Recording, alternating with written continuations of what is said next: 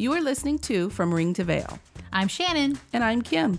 and we are your wedding planning gurus We take the stress out. and put the fun back into wedding planning.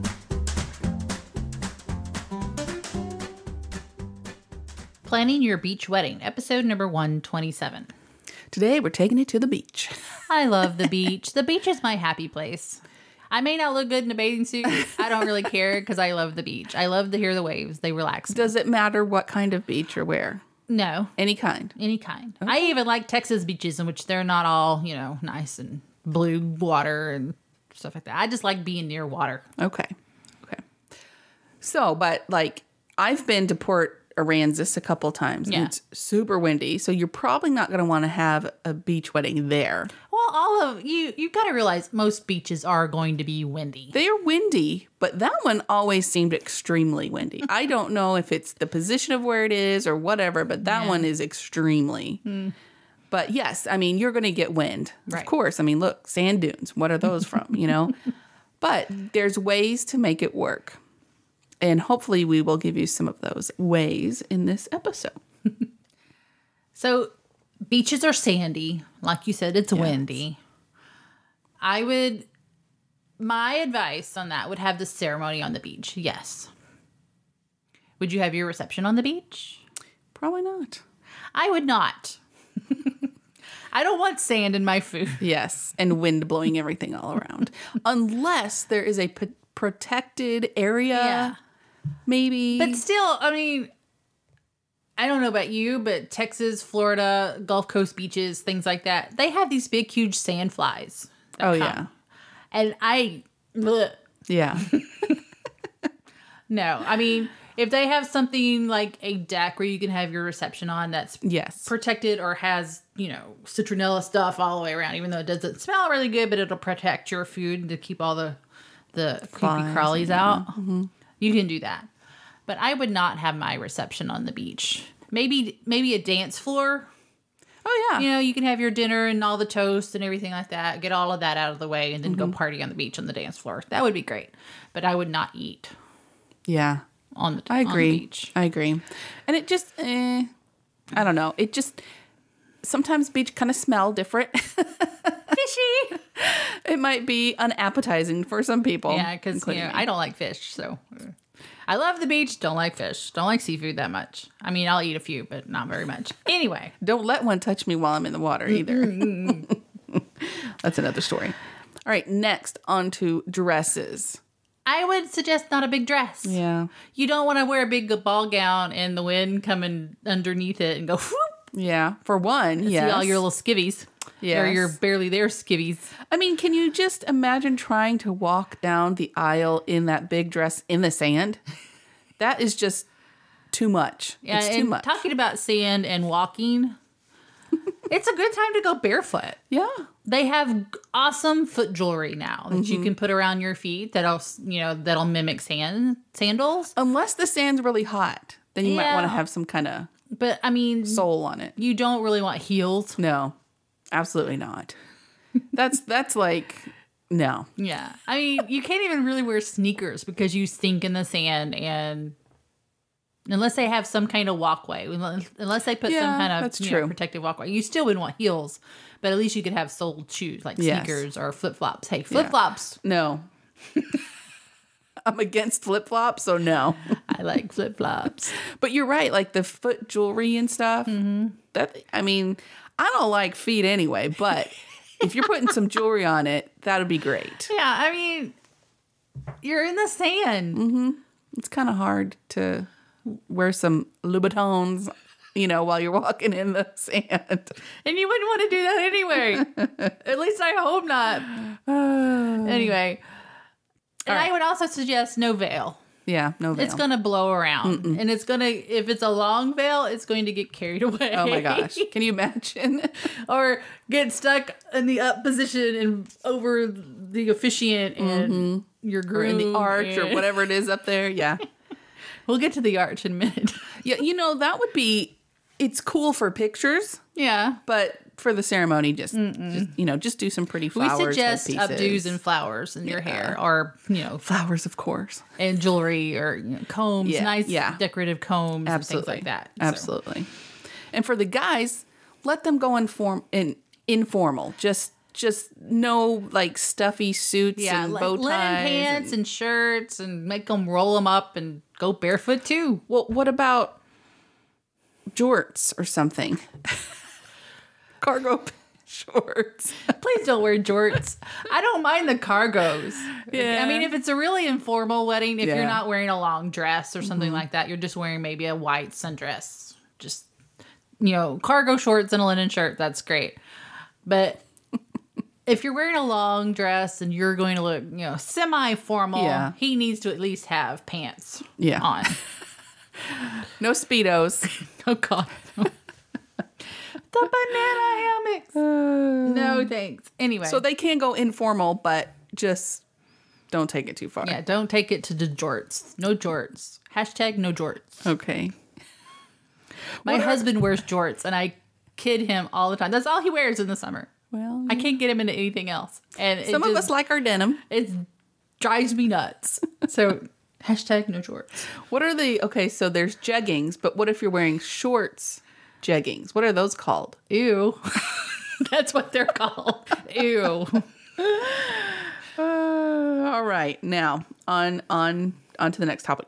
Check out the beach rules. Is it open to the public or is it not open to the public? Do you have to have permission to have a ceremony there or most not? public beaches you are going to have to have permission because Mm-hmm. most of them are run either by the city the county or the state Right. depending on if they're like a national park or a state park 'Cause, Right. like there's a lot of state parks around in in washington and some of them are beach land Mm-hmm. And of course, some people own parts of the beach. Right. You know, so if there, especially if there's a place you really like, you might, you know, talk to those, the people that own it, whose house is sitting right there. Um, Hawaii public beaches are, Hawaii beaches are all public from what, what we can uh, tell. Mm-hmm. So you would definitely have to get permission because then again, it's public. Anybody can sit anywhere. If you're trying to have a ceremony and, and the family next to you just pops up their tent and, you know, all that kind of stuff. and the kids are running around Yeah, you know, exactly. Um, usually chairs are not allowed, so that's why you got to get uh, Yeah. the information about the, the beach that you want. So just do a little research and preparation on that. Also, prepare your guest for a beach wedding.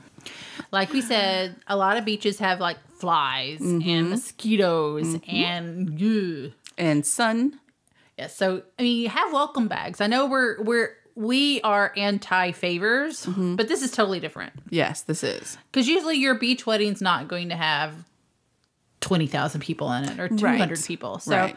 have welcome bags with bug spray, sunscreen, water, maybe you know put a little sunglasses in there. flip flops See, flip flops. or some Huarache sandals or Yeah, something. leave your sand, leave your shoes here. Put on the flip flops. Have a Mm-hmm. big barrel of flip flops in diff- various sizes. You can go get them at Old Navy for a dollar on their dollar flip flop sale.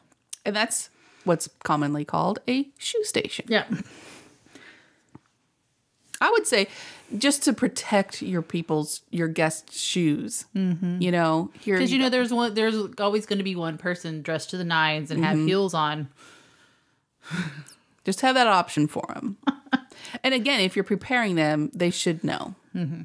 But like I said, somebody's going to just do what they want to do. Provide some kind of shade, tent, like coverings, some kind of something, a hats, umbrellas, you know, that kind of thing. And have ref- have a refreshment station with water, lemonade, maybe ice. Iced tea, hello. Yeah, Of course, iced tea. Uh, wooden benches, they withstand ocean breezes, because your chairs will fall over Mm-hmm. with the if it's really windy. especially those light ones. Yeah. They're most all of them are really light, and I mean that's good. You know, normally, yeah. but not if you're sitting at a windy beach. Right. You need to prepare for the wind, as we said. Your hair, your arbor, if you're having an arbor down on the beach, it needs to be well anchored. And I would suggest not putting flowy, gauzy fabric on it because it's like your veil, Yeah. it'll be flying everywhere. If you have to, wrap it around the poles Yes. and then anchor it with something with a bag of sand, some rocks, something at the bottom, so it doesn't fly. somehow. Yeah. Um, your chairs, Yes, like we said, do benches instead. do benches or have them anchored somehow. I mean, hey, you could do beach chairs if you really want to go informal. Could you imagine sitting in a low beach chair trying to get up? I can barely get up in them now. What are you talking about? Um, flowers. Mm-hmm. This is scary. no tall arrangements. I mean, even in a if you're having a normal outdoor setting, if there's lots of wind, Mm-hmm. you don't want tall arrangements because then you'll have tall arrangements that tip over. Even Break. if they're well anchored because of the wind strong and they'll break and you'll have glass, water, and flowers everywhere. So I would just suggest no tall arrangements. Low, no Lower to the ground as you can. right. And you know, for your tables as well if they're on a deck. You obviously love listening to podcasts. Well, have you tried an audiobook? Hi, I'm Kim, and I am an audiobook listener. It's actually my preferred way to quote unquote read. And if you haven't tried listening to one yet, go to www.fromringtoveil.com slash freebook to get a free audiobook from Audible. I may have just given you your new obsession. no aisle petals. They will not Yeah. stay. Yeah. I mean, use you're on the beach, use palm fronds, or if you're on a Washington beach, use driftwood. Yeah. You know, use something that is. If you're on a tropical loca- location, palm fronds are awesome. Mm-hmm. Just line them up. Maybe put a rock every so often so they Right. won't fly away. Right. Just no aisle petals because they're not gonna stay. Right. Even if you have a, a flower girl dropping them, they're just going to Yeah. slap somebody in the face. Most likely. All right. We suggest daytime ceremonies on, on beach weddings. I know it's really romantic, but when it gets dark, it gets, It gets dark. dark. And it you can't see anything. Unless you have a firelit path somewhere. True. But and But you still. want but if you want I mean there is still a little bit of daylight after sunset. So I mean if you're going to have a before sunset wedding and then have your pictures you're going to want your pictures at sunset anyway. yes. Absolutely. So you need to have it a little bit before your ceremony a little bit before sunset so you can get done to take those sunset pictures. That's right. And promise you, you want sunset sunset pictures, Especially Absolutely. in Hawaii or something. like Oh yeah, definitely. especially on the west coast they're awesome mm-hmm. um have a backup plan if you're having a beach ceremony in a resort location have a backup plan because you never know if it's going to rain Yes. Or if there's a storm Right. at sea and, and whatever it is. I would also say check the tide calendar. yes because if the tide comes in and your chairs are there they're going to be carried out to sea yes, along with your guests if you're not careful. Or your flowers or your arbor or whatever. so yes, check check the tides. we suggest having a sound system Absolutely. even you know if it's, hard to hear out yeah there. there's wind there's waves if you have a mic somewhere Mm-hmm. Absolutely. use it Upscale porta potties. if you're in a remote location beach, this is a Mm-hmm. A necessity. must. Yeah. You have to to budget for that. And we've seen some pretty cute ones. Yeah, there's some that are really nice. Yeah. Again, upscale. Yeah, not not the blue, you know, the blue ones that you can tip over. Those are gross. The honey pots. yeah. All right, so now let's move on to another part of the beach wedding It- for decor. Of course, we always love to talk about decor. Let's let's get into those ideas. Um, yes, you always have the typical beach wedding. You can go that way if you want to, but these are maybe some little other different ideas for you to think about. We love lights. Yes, We like the Edison bulb lights and things like that. String lights. all kinds. We like lights. They're good at your reception if you're having it at night. You can see. Mm-hmm. They'll help you see. Number one, They'll set the ambiance. romantic. So have lights. Instead of seashells, because we all know that's the kitschy beach Yeah. wedding thing. And what? Silver or not silver dollars? Uh, dollar sand dollars. Sand dollars and starfish and rope. And yeah. those are nice too. And you can do that. Absolutely. If that's if you love that look, do it. But if you want a beach wedding without that kind of mm. kitschy look, We suggest touches of blue. all kinds. All kinds. Gray blues, blue blues, turquoise blues, mm-hmm. you know, all kinds of blues.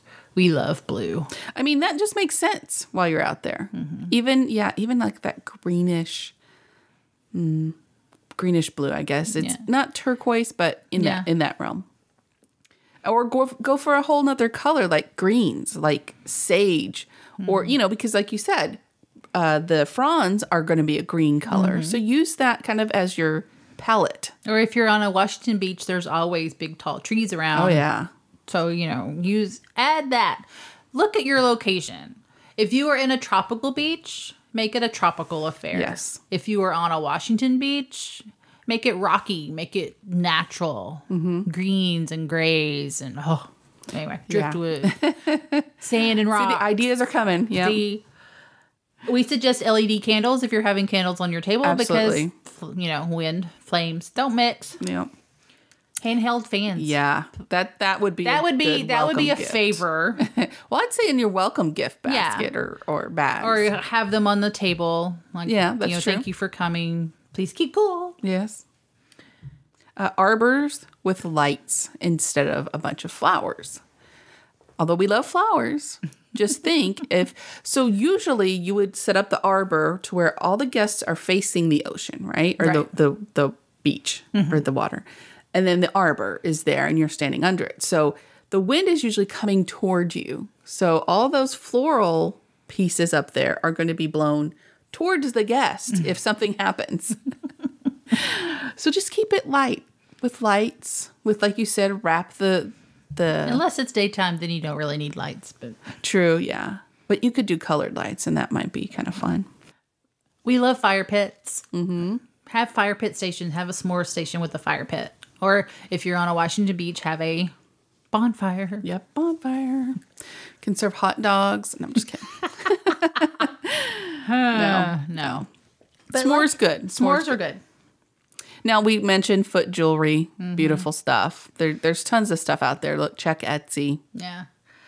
And for your tabletop decor, we already said no tall arrangements. We also think you should keep it simple. Mm-hmm.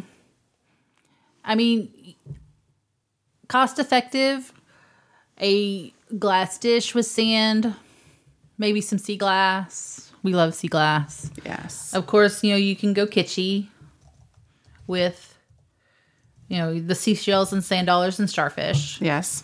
You can put use palm fronds or monstera leaves. And I can give you all kinds of little tropical leaves to use. Some of them are huge. Have them line your tables if you're having farm tables. Mm-hmm. Make them a runner. Just place them on there. They don't have to be tied together. Just place right. them on there and put your candles around them and And your rocks or yeah. whatever else. Driftwood. Well, driftwood would be good, very good with monstera using palm fronds, I guess. I don't know. But I think I think uh, driftwood goes with anything. Sand dollar escort cards. Now, if you want to bring some of the actual kitschy beach stuff in there, you could you could do that.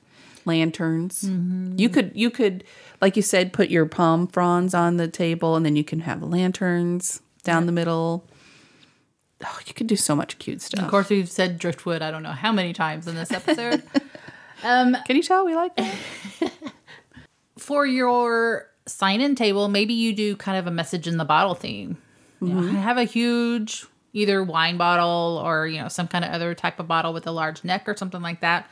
Have pieces of paper laid out with pens, and they can write you know mm-hmm. good wish messages and sign their names and put it in the bottle. That's right. Or you can use little messages in the bottle just for decorations, you know, mm. because I mean, if you think about what that means, where you find them, right there on the beach, usually. I've not found one yet. No, I have not. Sea glass. We love sea glass. I mean, Real sea glass. yeah, how, how beautiful is it? And just think of what that means that it's a piece of glass that's been tumbled by the ocean and the floor and the rocks and, uh, and you can just put those everywhere. Yeah. Use them for anything, hanging uh, on the table, earrings, whatever.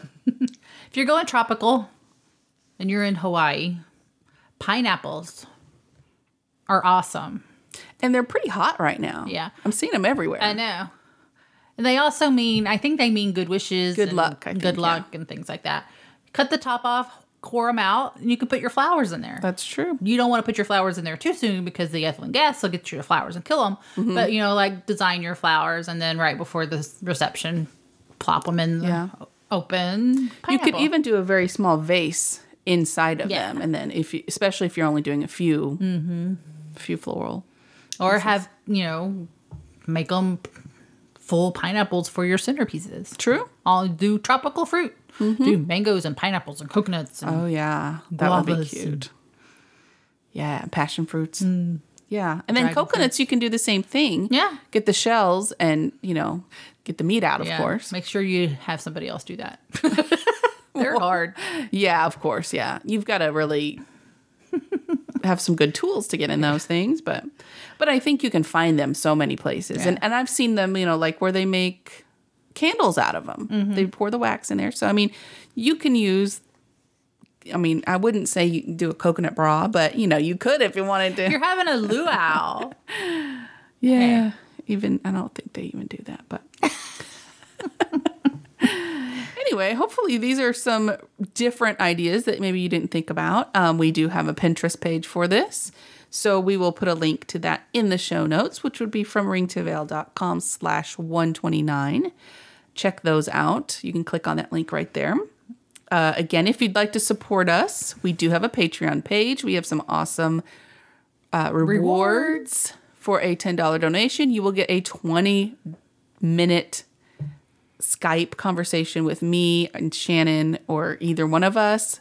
And you can ask us anything about wedding planning. We will give you our advice and Our help opinions. our advice and help. And if we don't know, we can absolutely point you in the right way. But that's for the, the chat. So if you'd like to have a chat with us, go to our Patreon page, which is from ringtoveil.com slash give and check out those. Remember, you can always reach us by emailing us at info at fromringtoveil.com or hashtag fromringtoveil on Twitter, Instagram, and message us on Facebook. Yeah. Subscribe to the podcast anywhere you listen to podcasts. And if you don't find us, let us know. We got to know if we're not there. So until next time, no stress, no worries, keep calm and listen on. Thank you for listening to our podcast. You can find us on Facebook, From Ring to Veil, on Twitter, at From Ring to Veil, and on our website, FromRingToVeil.com. Music provided by bensound.com.